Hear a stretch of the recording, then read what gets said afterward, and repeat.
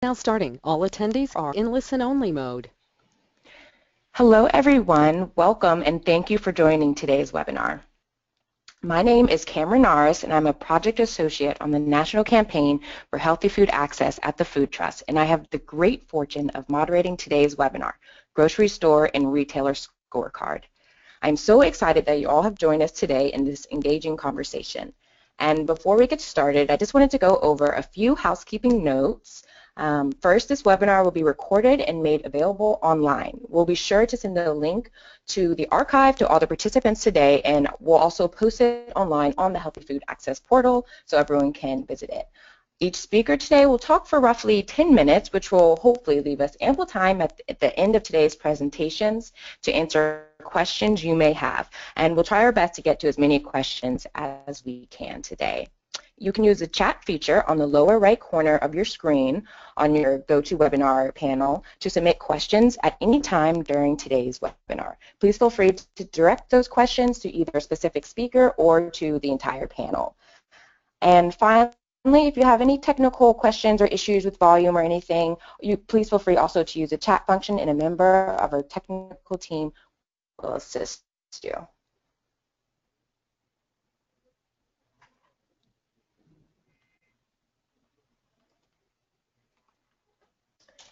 And we are hosting this webinar today as a feature of the Healthy Food Access Portal, an endeavor supported by the Robert Wood Johnson Foundation and builds upon the partnership of PolicyLink, the Food Trust, and Reinvestment Fund. Together, we work to promote and increase equitable access to healthy food. And to briefly introduce these three co-sponsors of the portal, PolicyLink is a national research and action institute advancing economic and social equity by lifting up what works. The Food Trust is a national nonprofit based in Philadelphia with the mission to ensure that everyone has access to fresh, affordable food and the information they need to make healthy decisions. And Reinvestment Fund is a national community developed financial institution, or CDFI, and national leader in rebuilding America's distressed towns and cities through the use of innovative capital and information to finance projects including food access. And we invite you all to visit the portal to get more information on other healthy food access topics.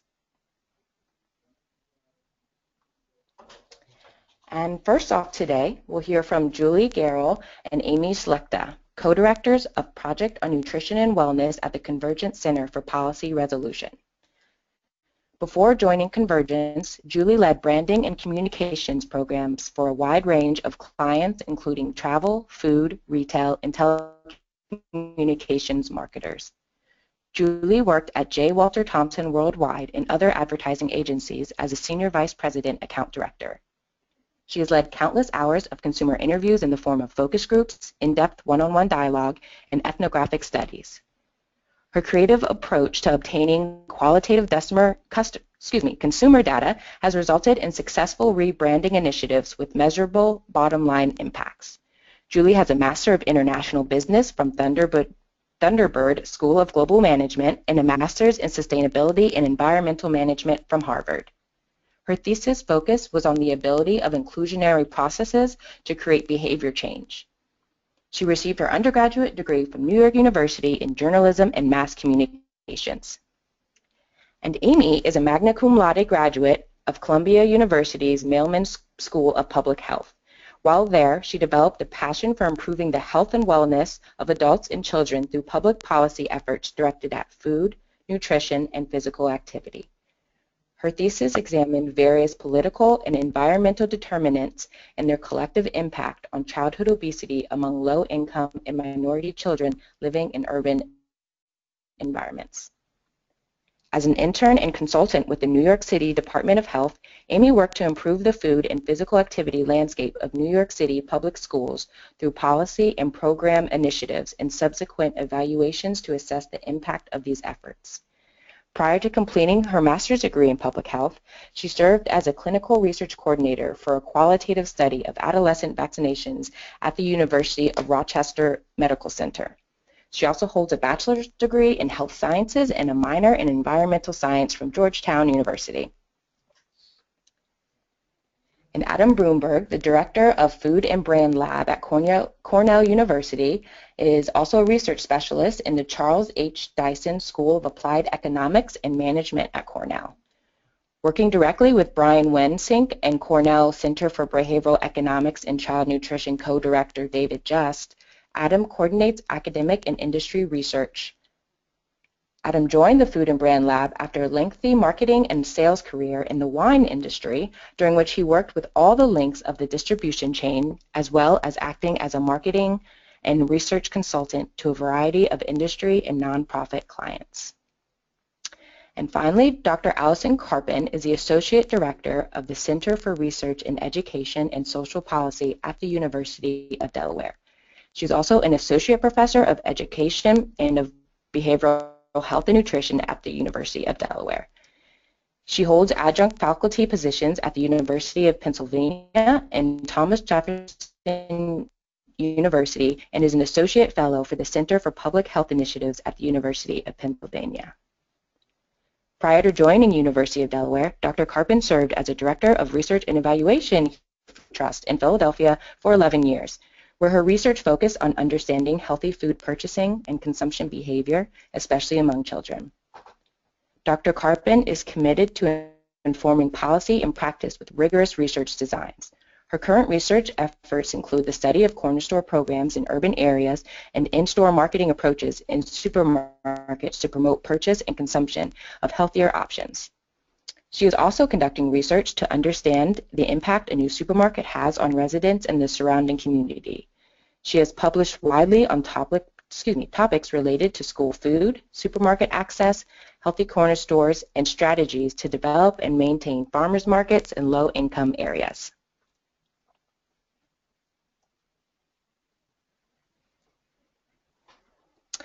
And on this next page here, um, there's a few resources displayed that you can find on the Healthy Food Access portal.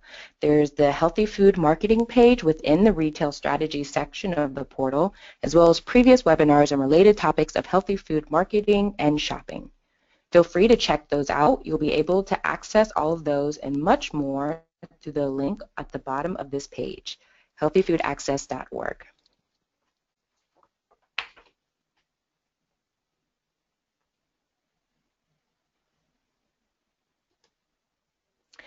And now we'll start off the presentation for today by hearing from Julie and Amy. So please take it away whenever you two are ready. Thank you. Thank you so much, Cameron. We're delighted to be here with all of you. Um, so let me go ahead and get started.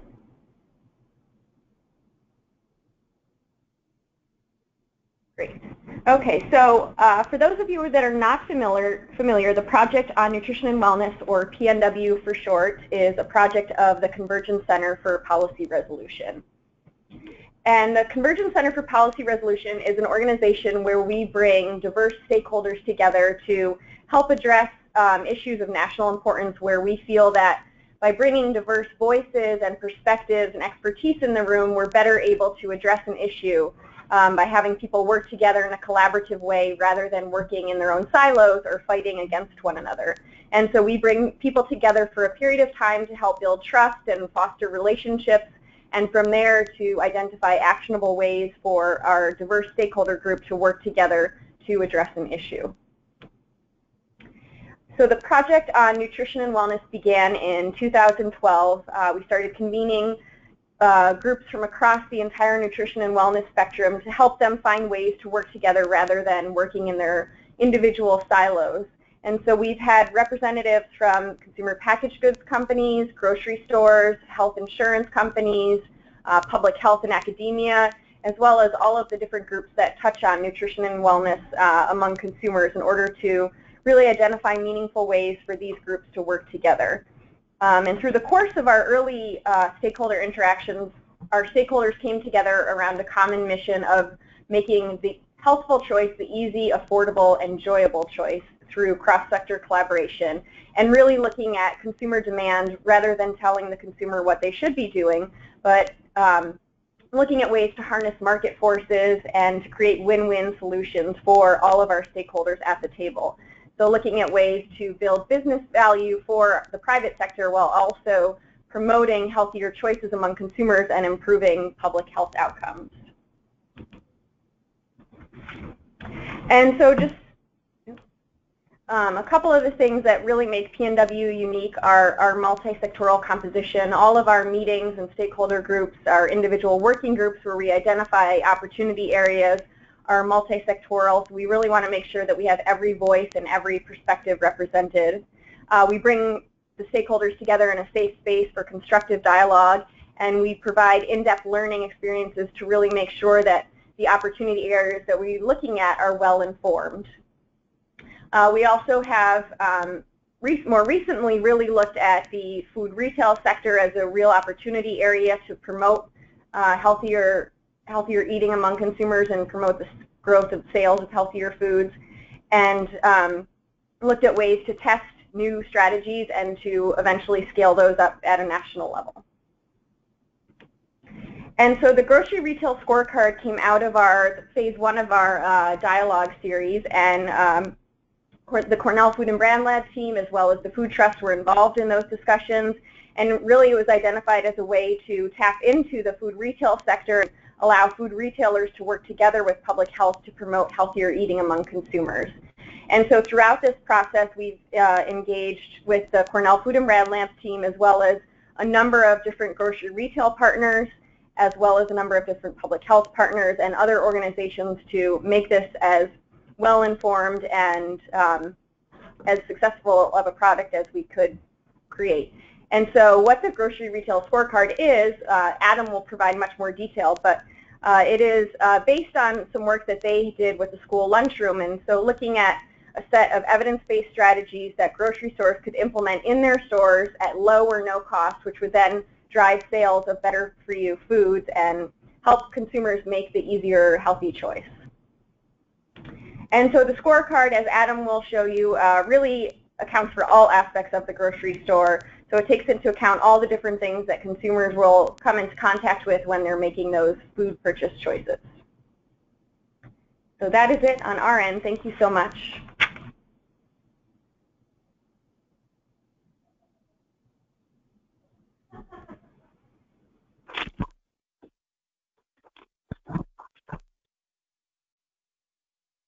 Am I on? Yes, Adam, now we'll turn it Okay, over great. to you to take over for the scorecard. All right, very good. Excellent. Thanks, everybody. Thanks for tuning in. Um, and uh, hopefully we can give you some brief information about the retail scorecard and what it looks like.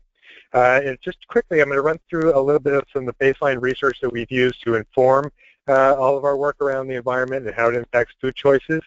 Um, for example, um, so essentially what we are is uh, we're a consumer behavior research lab based at Cornell University, and we do research on how uh, factors in the environment impact choices and food experiences. So for those of you who are out there um, eating your lunch while you're watching this webinar, uh, i hope you have portioned food in front of you because if you have unportioned food uh, while you're doing something like watching a screen, uh, you will eat 28% more than if you're just uh, talking with a friend or with family members. Um, larger plate, larger meal. Every two inches increase in the size of your plate is about 25% uh, more that you will serve yourself. Americans eat 92% of what we serve ourselves, so you can do the math.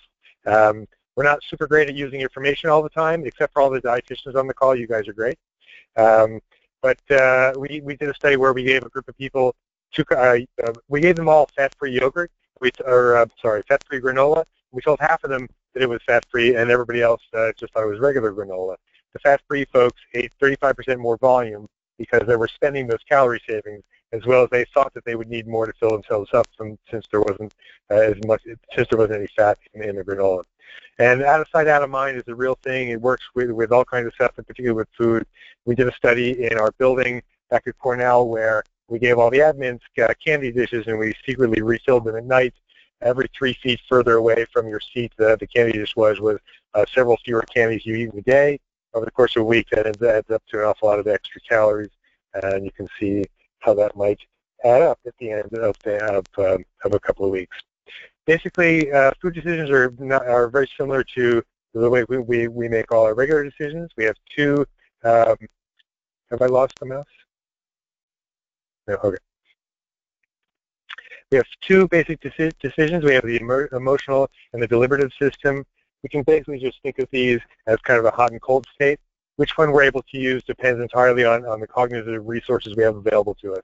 And to put it in, in, in, uh, in a simpler term, uh, how stressed we are. The more stressed you are, the more likely you are to make an, an indulgent choice or uh, to uh, or, or, to, to, reward yourself for being stressed out, uh, or most importantly, when you're trying to introduce new sets of foods to people, when you're stressed out, you're less likely to make uh, the choice of a new item because uh, the last thing we want to do when we're stressed out is be uh, disappointed by that thing we're using for comfort, which for so many of us is food. Uh, context in which food is presented to you makes a, a great deal of of, um, has a big impact as well. We ran this study on campus uh, about a year ago where we had 56 people, and we took them on a two-mile pre-lunch tour. Half of them were told they were uh, just being taken on a scenic tour of campus. The other half were told they were getting a little more exercise, getting some exercise before lunch. The exercise group rewarded themselves. They spent those the extra calories they burned uh, by eating about 35% more pudding. We've actually rerun that study on several occasions. The results are, are pretty are, are pretty uh, standard. Uh, uh, if you think you're exercising, you're more likely to um, reward yourself a little bit later. So uh, that's particularly true for people who are not serious hardcore athletes. Uh, kind of the, the rest of us, the people who are just kind of casual exercisers. Um, how we present foods to us makes a huge difference. We did a, a famous study where we invited a large group of folks in to um, uh, test a, pre, a prix fixe meal. We told them we would ask them just some questions about the menu and, and the service. Uh, all, everybody, all the groups had exactly the same dining experience with one exception. One group was given as a thank you a bottle of wine that was labeled as being from California. The other group was given a bottle of wine that was labeled as being from North Dakota. Um, so uh, I'm hoping there are no North Dakota wine collectors out there, but if there are, I apologize. Um, not surprisingly, when we did Uh, mouse is wandering.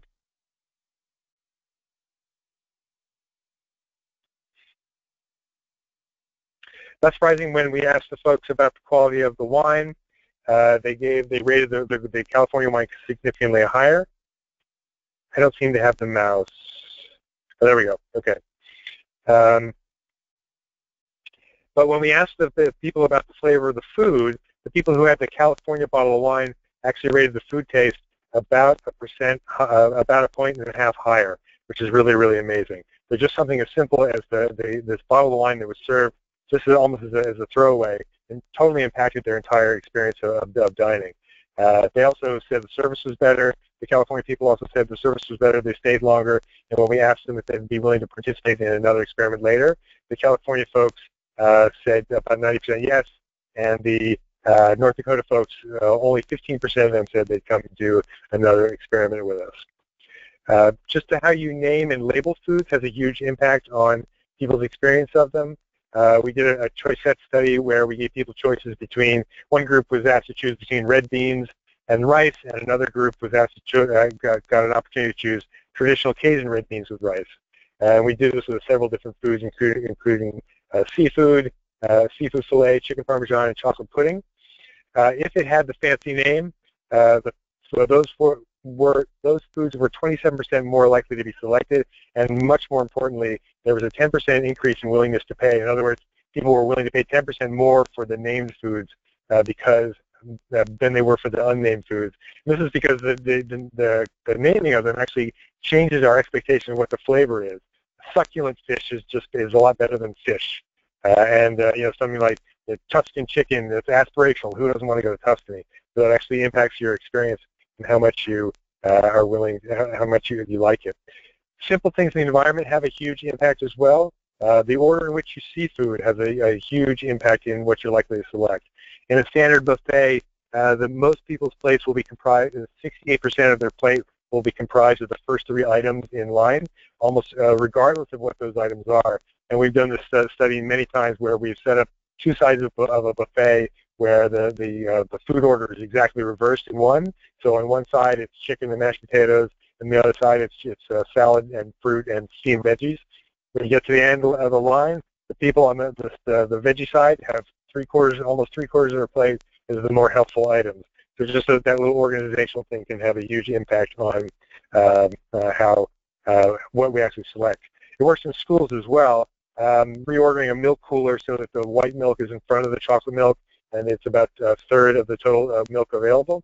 We'll increase the selection of white milk by up to 50%, um, uh, whereas we've seen in some schools where they've removed uh, flavored milk, overall fluid milk sales have declined by 10%, taking an important source of nutrient out of the daily diet of the kids. So moving more closely into the area that we're kind of talking about, the, the supermarket area, we ran a study recently where we did, we would like to do things that are super high tech whenever we have the opportunity. If you look at that diagram on the right hand side, uh, that, uh, uh, that's a piece of duct tape around the outside of a shopping cart. And essentially what we did here is we just put that piece of duct tape around and we gave people who had the divided cart instructions, hey, put the, put the front half of your cart, just put fruits, vegetables, and lean proteins there basically just suggesting to them that the half of the cart should be filled with, with helpful items.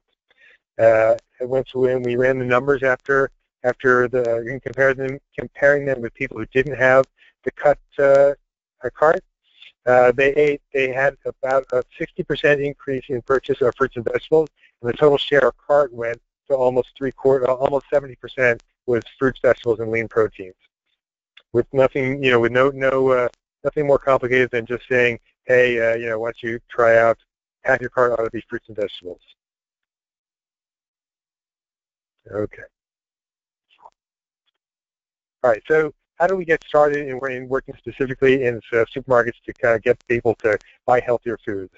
A group of uh, researchers uh, uh in collaboration with the Danish government came to visit us back in 2009, and they had a simple idea, how do we make people buy healthier foods? And uh, you, I, with apologies, I'm going to show you a slide that, um, that you saw a minute ago because Julie likes to steal my slides. But what we know from, um, or actually Amy in this case likes to steal my slides. And we know from human nature that all you have to do is to get to make sure somebody does something is tell them they can't do it. Uh, so human nature in a nutshell, don't climb in this pipe. That's all that anybody wants to do as soon as that happens. So the the the um, the the plan that uh, that was in place in Denmark at the time, you may have read about this, they were going to put a fat tax on uh, on foods, up to 30% based on the fat content of the school. Uh, and what we did was uh, they gave us actually an island off the coast of Denmark to experiment with. We had a number of supermarkets in that island, eight, uh, eight supermarkets, and we just did some simple uh, nudging uh, ideas, which became the, the kind of the core of the scorecard later. By the way, they did they ended up repealing that fat tax on the mainland of Denmark, in, in no small part because they created a, a gigantic black market in salty and uh, high-fat foods from from Germany, where people would line up on Sundays and, then bring many many dozens of, of cars in. Anyway, so uh, we had to, we ran a, a, number of these studies in on the island for about two years. They tried some very simple things, uh, some labeling systems, uh, increasing access to, to healthier foods like grab-and-go snacks up by the the front um, the front register, floor floor mats that help to direct people or, or to point out the healthier foods uh, uh, in the store, um, and directional arrows that just basically lead people to, you know, we tend to follow directions. Uh, so when you see an arrow on the floor, you know, your natural inclination to to just follow that arrow. When we've used these, we've used these also in, in uh, supermarkets in America. They often uh, re result in, in another 90 seconds of time people spend in the um, in the produce section. And of course, they, you know, you can't half your uh, cart can't be fruits and vegetables if you never go in the produce section. So just simple some wayfinding stuff to direct people where you want them to go makes a big a big difference. And of course, the, our, our friends in Denmark also checked out the divided carts. So the main takeaways for us uh, from the Denmark experience was that sales volume on the targeted items increased. They, they sold more fish, they sold more fruits and vegetables, uh, and they were very simple and, and easy to to uh, to make make changes that the supermarkets were happy to work with. Uh, because they were selling the items in the store that were uh, more likely to be perishable, they actually made more money because they were throwing uh, throwing fewer uh, perishable goods away. And uh, and we got to thinking, we only gave them eight things to choose from. What about all the other potential options there were uh, to work on? By this time, we had already, some of you may have already seen this, we'd already released a 100-point Smarter Lunchroom uh, self-assessment scorecard, which is being used by thousands of schools around the country right now as part of the Healthy U.S. School Challenge criteria from the USDA. And basically, that's just a set of 100 uh, that's that's a hundred things that schools can choose from to help their kids in the in the cafeterias make better selections, uh, uh, select more fruits and veggies. And since the kids get the chance to choose them for themselves, at the end they end up they end up eating a little bit more of the things they choose. It actually increases consumption um, as well as increasing selection of the fruits and vegetables. Um, so we thought, you know, if we could take some of those ideas and then, then uh, blend them in with a retail scorecard, building on what we learned in Denmark and some other pilot areas in the U.S., it really could be something really, really powerful. And one of the things that we've learned from working with the school is if the scorecard is evidence-based, if there's a third party that endorses it, in the case of uh, the scorecard, the USDA. In the case of the retail scorecard, it's folks like yourselves and like THA and uh, you know other uh, people who help to validate it.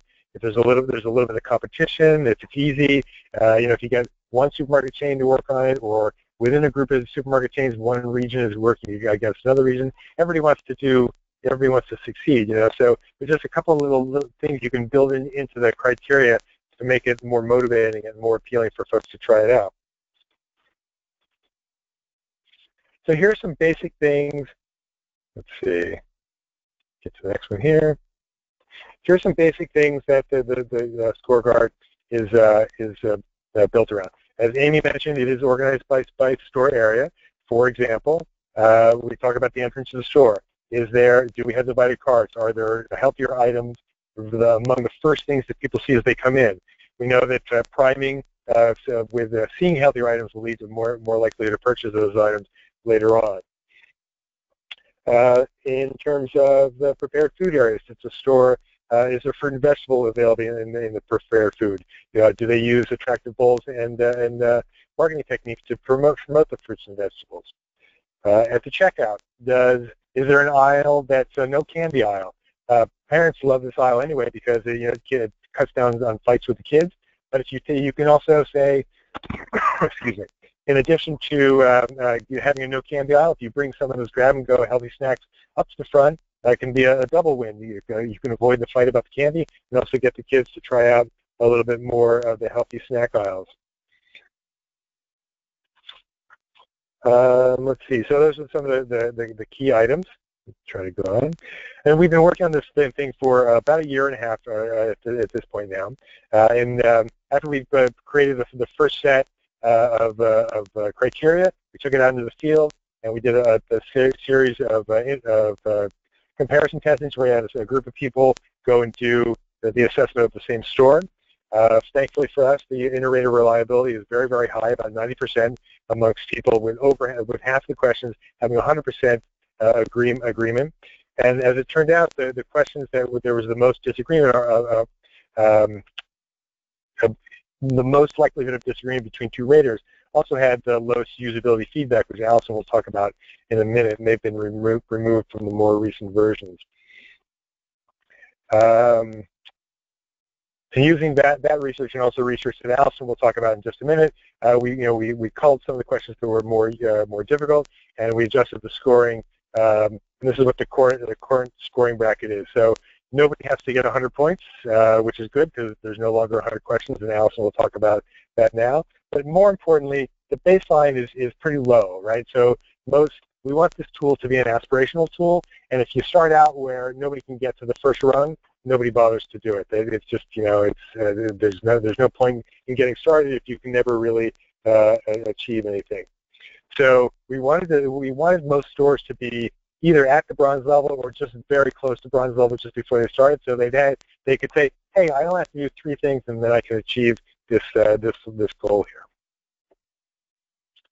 And so that's uh, that's essentially you know where we are. We've gotten the final final version. We've done some more recent more recent testing in a couple of other areas showing that some of these things have had an increase of up to 40% in the fruit and veg, although we haven't uh, had a chance to publish that yet. But there's some recent uh, additional pilots we've done. And I guess we will hold questions now, and I will turn things over to Allison, who will tell you who will tell you more about her usability research, which was super helpful for us.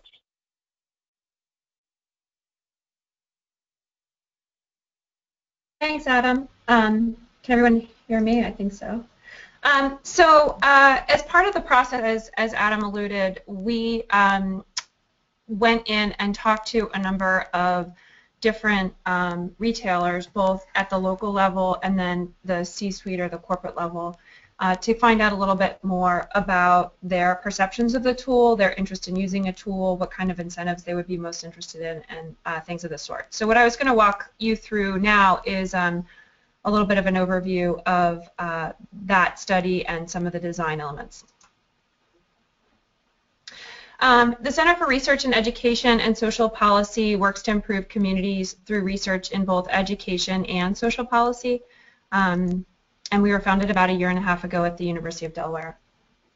The purpose of this study is to understand really um, the retailer's motivation and perceptions of the scorecard. And as Adam mentioned, um, we undertook this study sort of in the middle of uh, the development phase. So it's where we thought we had a pretty good uh, pilot tool. We had an instrument we liked, but at the same time we had a number of questions about what was most feasible, what would be most impactful, and how retail friendly the scorecard was generally. We had made some assumptions along the way, as you do with these things, of course, with advisors, but um, really needed to get some more deep dive feedback from retailers who had been a little less involved with us all along the way.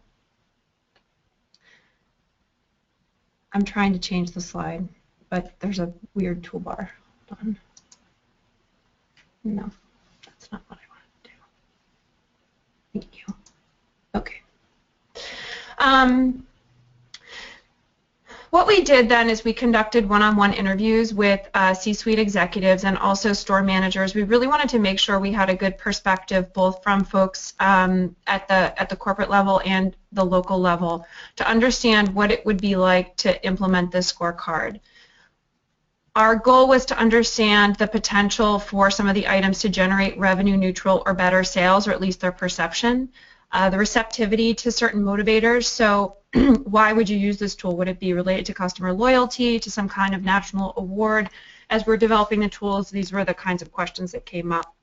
We were also interested in any concerns about implementing it or any worries about the feasibility, um, certainly to where uh, items could be shortened if they felt like there was duplication or replication in them.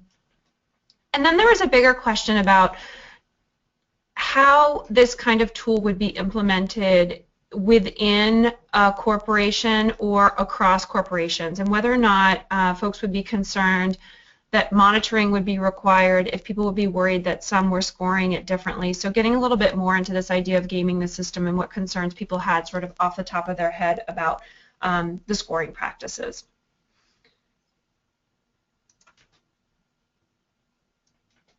Um, we had uh, a number of retailers who participated, um, interviews from retailers uh, across the U.S., and we also um, invited a number of other retailers to participate. Some declined. Um, some just engaged with us in a brief overview but didn't want to undertake such a long conversation about uh, the many items at the time that were on the tool. So um, we got a pretty good swath of retailers involved.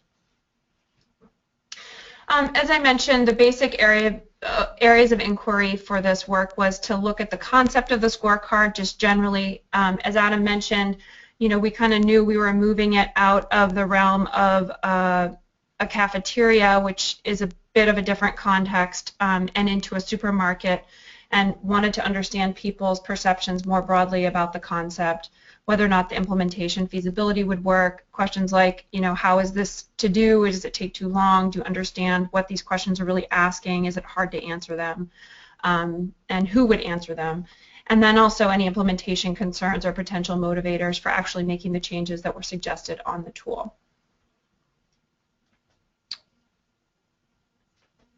I'm trying to change the slide. All right, so here's sort of the, the soup to nuts feedback. Um, and again, this is uh, data that was already integrated now into the next round, but I think it's important to sort of know the kind of um, feedback that we got. So feasibility, most folks thought that it seemed feasible off the top of their head. These were strategies that they had heard of before or maybe at one time had come up in the industry. Um, they felt like they were generally plausible to modify, so off the top of the head, their head, many of these uh, strategies did feel quite feasible. Um, sometimes the cost of implementing strategies caused concern. For example, if it was about um, moving infrastructure, uh, there's questions here about um, where the location of the bathroom is or the water fountain. Um, And, uh, and obviously, if the bathroom isn't there, that would be expensive to move. Um, so that was something that came up on occasion, but not for very many questions. Um, there was also some question about how this would impact bottom line and the shopping frequency, customer loyalty, and sales, which is what really the retailers, as you know, are most interested in. Um, and uh, I think some of the work that Adam's done now to, to clarify the relationship between using this tool and sales is useful, and we probably will need some more of it. But uh, you know, out of the out of the gate, that was something that came up. Manufacturers' decisions. Um, so at times, there are questions about whether or not um, the the retailers are really the right person to be talking to about this. So if we're talking about the the makeup of end caps or signage or packaging, obviously that's a relationship um, that sometimes I mean that's a an issue that sometimes is in the purview of the retailer to decide, but other times might be in the purview of the manufacturer to decide. Um, and then there were some issues around store policies where there might be a policy about um, prohibiting, say, floor mats um, when indeed we were recommending that they be used. The other two um, major areas which I mentioned, um, the motivators, so why would a retailer decide to use this kind of tool? Um, the top answer we got was really that this was a corporate priority. Um, there was already an emphasis in the in the company and concern for customer health and wellness, and this was really seen as um, a welcome addition to their toolbox to know how it is that they can actually make a difference and improve the health and wellness of their customer. Um, there are quite a few folks who brought that up. The next uh, most common answer was really about competition with retailers, customer loyalty, being able to offer an edge on the competition. Um, the extent of customer awareness also came up as a motivator. If customers were aware that one retailer was undertaking this kind of tool and another wasn't, that might motivate a retailer to um, jump on board and do this as well.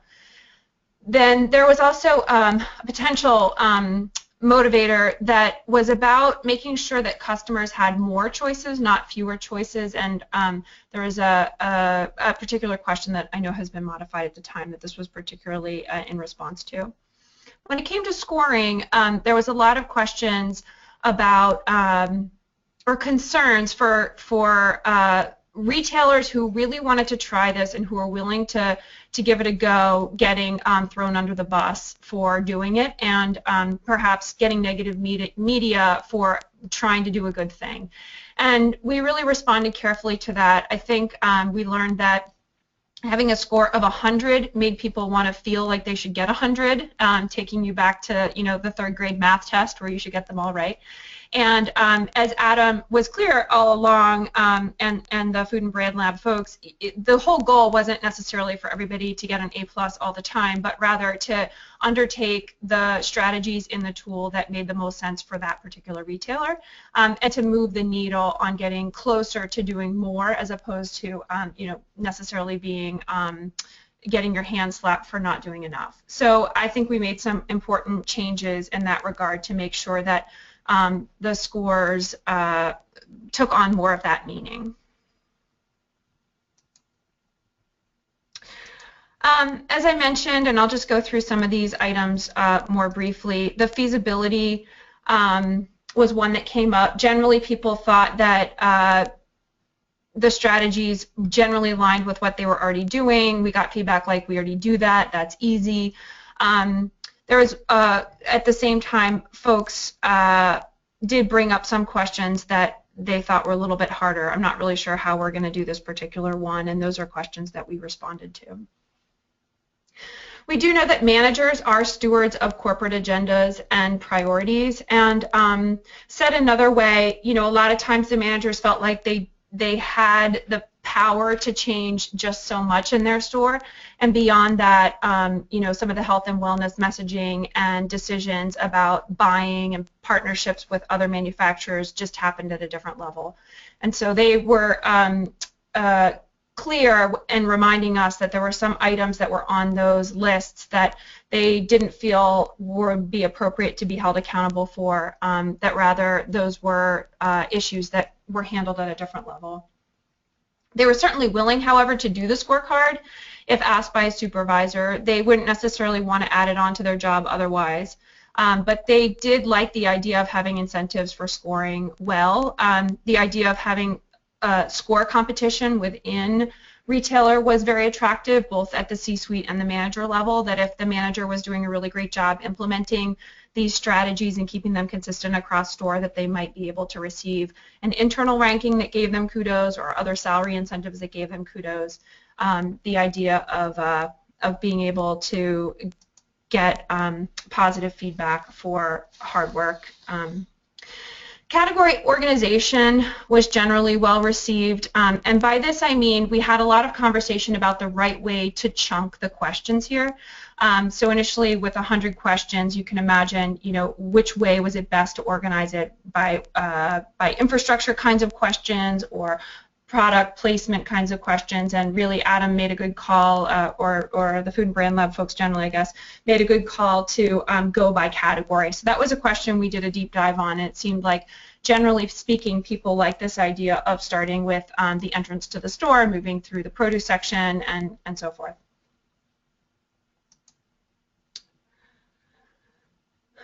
Um, oops, this is a repeated one, sorry about that. So um, motivators generally, um, as I mentioned, they're looking for a tool that connect and drives customers to buy more, to shop more, and to be more loyal. And um, the question that came up then is, uh, you know, to what extent does this tool actually do that? We don't have good data at that about that with this particular tool right now, although we're, we're gaining more and more information about how it drives um, sales.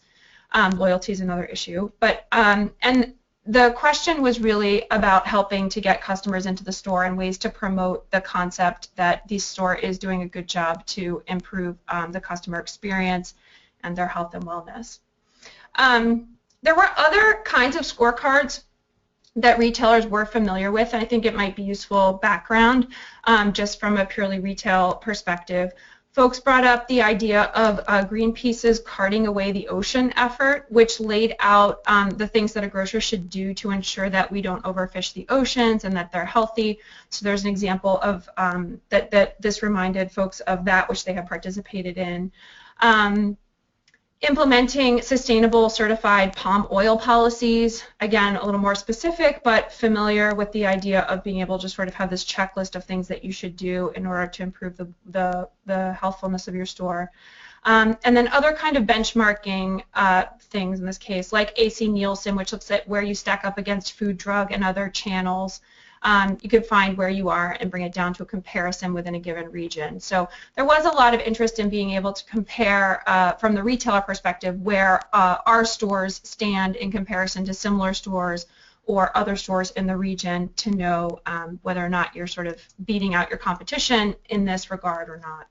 So this is a, a quick overview of um, a lot of the, the back and forth that we have with some of the retailers and the data that we compiled and then passed along to Adam and, and that uh, the Cornell folks responded to. Thank you.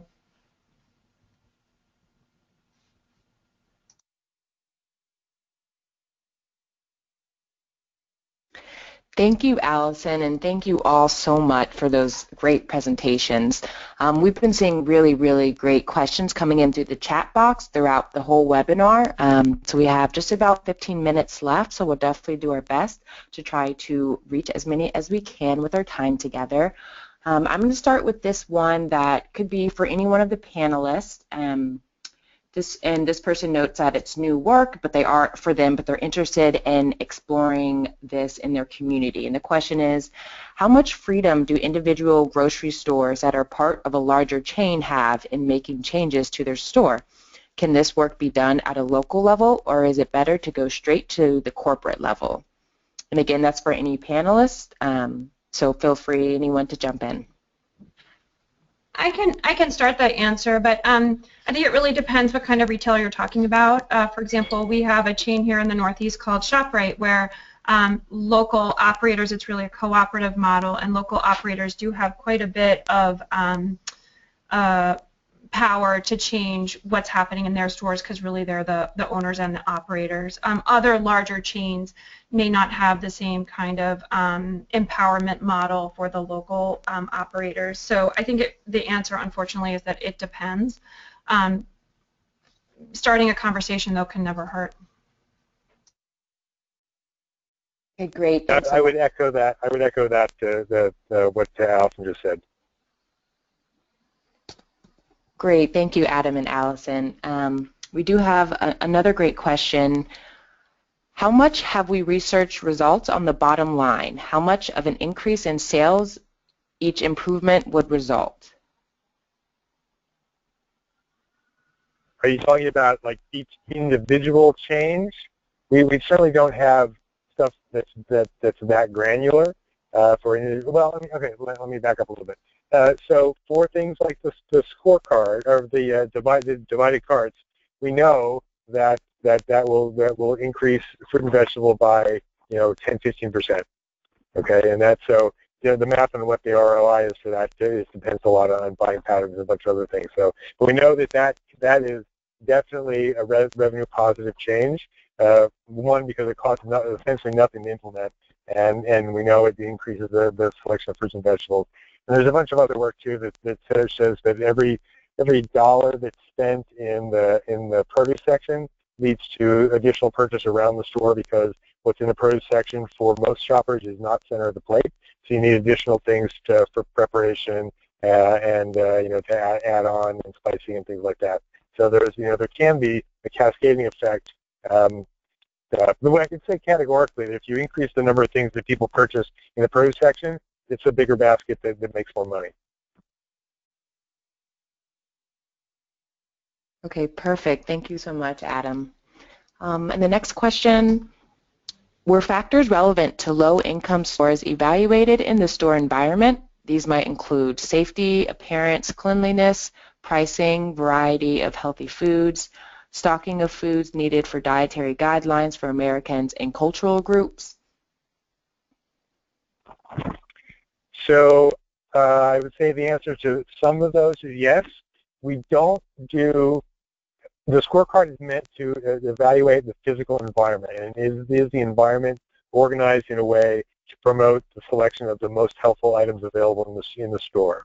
Now, obviously, if the store doesn't have uh, helpful items, um, the scorecard doesn't directly, it's not designed directly to impact that. However, if you don't have four different kinds of, of uh, fruits of uh, you're not going to get those points, right? So it, it does have that thing. But the assessment of the product mix is not officially part of the scorecard because it's an environmental assessment tool. Okay, thank you, Adam. And our next question we received um, during Allison's presentation, and that is, can community members and youth conduct the surveys? How long did they take?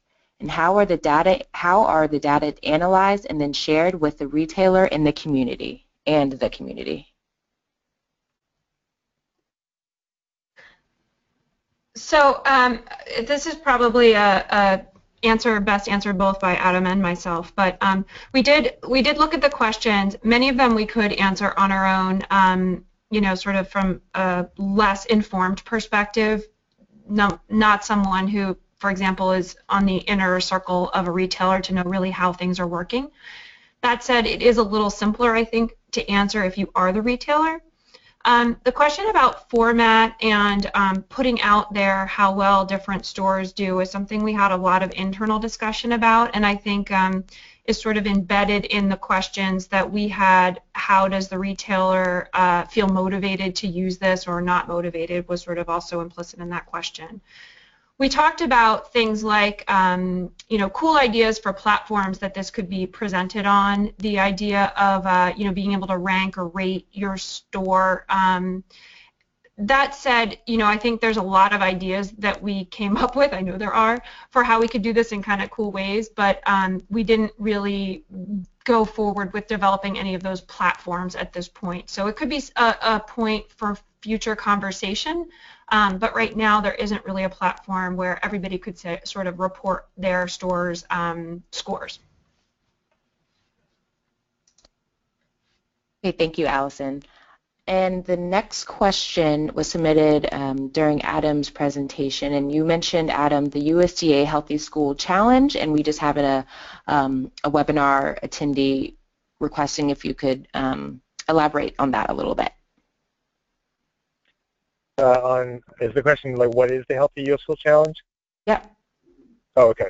Um, so it's something that the USDA sponsors, which involves a variety of dimensions around around the school, uh, from uh, working the cafeterias, uh, and smarter lunchrooms is, is a criteria for um, uh, for you know, getting the different levels of healthy, healthier U.S. school challenge. But it also uh, it has things like access to water, uh, physical activity, um, a couple of uh, other dimensions. So it's it's it's beyond just uh, part of the the physical um, the, the physical environment that our scorecard is focused on, which because that's sort of the behavior piece. But essentially, it's a program that uh, USDA has put in place to encourage schools to make a number of changes around their buildings to encourage a healthy lifestyle in terms of activity and exercise and health, healthful eating. Uh, if, if, you just go to the USDA website and Google uh, HUSSC or uh, Healthy U.S. School Challenge, you'll um, you'll get um, uh, you'll get a, a, bunch of information about that. And schools get a variety of um, they, they can get a score, but they also can get, actual money. It's not a tremendous amount of money, but I think if you if you get a, a gold level, I think you might your school might get two thousand dollars which is you know just use discretionary. But um, uh, principals really like it because it's uh, it's a, it's a really great bragging thing. Uh, so that's been one of the big big it, that's been one of the big things that has, has helped schools uh, adopt the school score scorecard around because oftentimes Smarter Lunchrooms is the easiest and quickest place for them to start attacking their Healthy U.S. School Challenge goals. Great, thanks Adam, that's really helpful.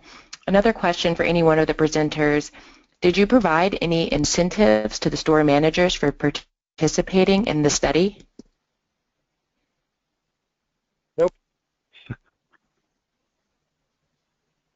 Yeah, we didn't. Uh, we had offered a $25 gift card, but the retailers didn't want it. Okay, great, thanks. Um, just looking through our other questions, make sure we get um, ones that have been um, repeated. Um, do you feel that when people hear organic that they feel the same as when they hear a fancier brand name? Um, I guess I'll, I'll, I'll, take a shot at that one. So organic is a, is a very interesting word in the food space. Uh, there's there's definitely a willingness to pay in a lot of consumers for uh, for uh, for something that's labeled organic, but there's also a, a segment of the, the, the retail shopping population who avoid it for that exact same reason because they think it's going to be more expensive. People also uh, make the assumption that organic food is, is going to be uh, healthier, and I'm not talking about pesticides here, I'm talking about uh, higher nutrient content. Um, but it also has a funny impact on people's uh, uh, perception of flavor. So if you label or, uh, yogurt organic, it tastes better. If you label label cookies organic, they taste worse, um, which is kind of kind of interesting. You know, so in other, in other words, something that already has a, a health halo associated with it that's helped by organic, and if something that's indulgent, it's usually kind of uh, thought of as being uh, it, it tends to diminish the the thing. So uh, I don't know if that directly answers the question. I think specifically to how people respond to either a brand name or the tag organic is going to be highly dependent on the particular item, essentially at the end, the end of the day. Uh, I think organic is probably less, and I'm, this is strictly a guess, but uh, organic is probably less effective on uh, a product like chocolate than a name like Ghirardelli. Probably has more bump than, than organic, I'm guessing. Thanks so much, Adam. I think that's also, as far as labeling um, food items, I think that's also, also definitely uh, related to your study you, you mentioned about the wine and about perception of, of taste based on where, where the wine was from. Um, yep. And our next question, I'm interested in thoughts on how this tool might work differently in rural areas. And they're wondering about considerations that may need to be undertaken and adjustments that may need to be made.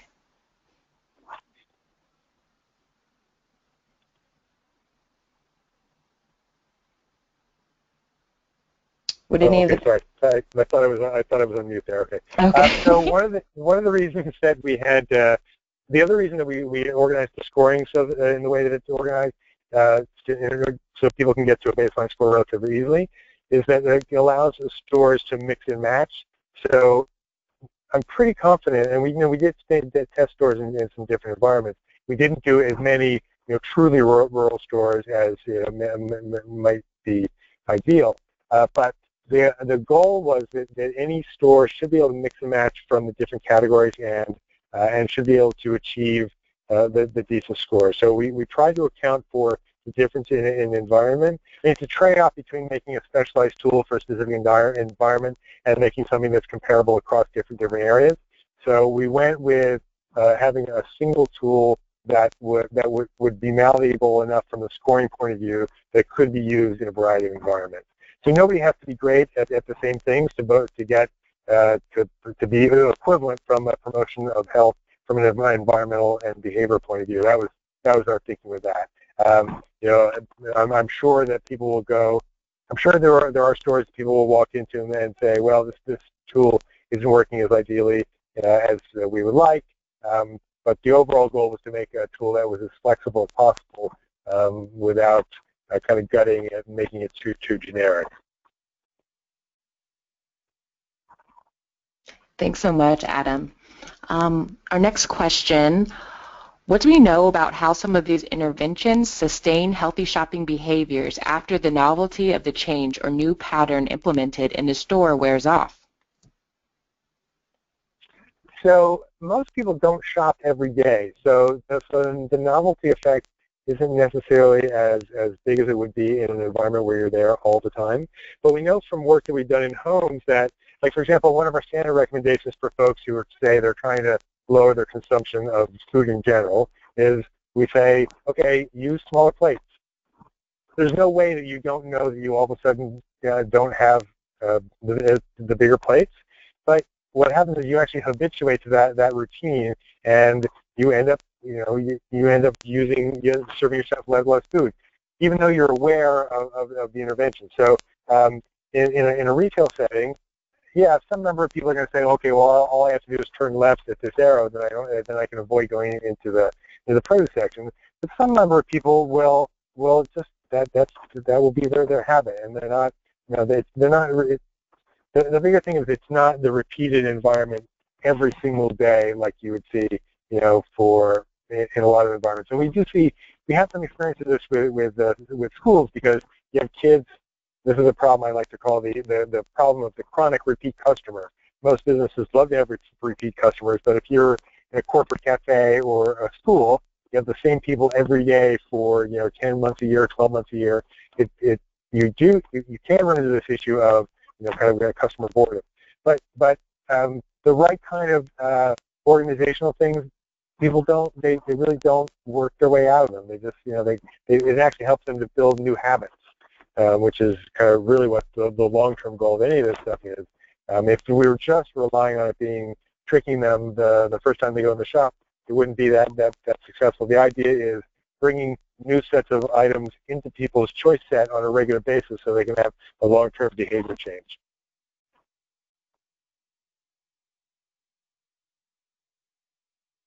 Thank you so much, Adam.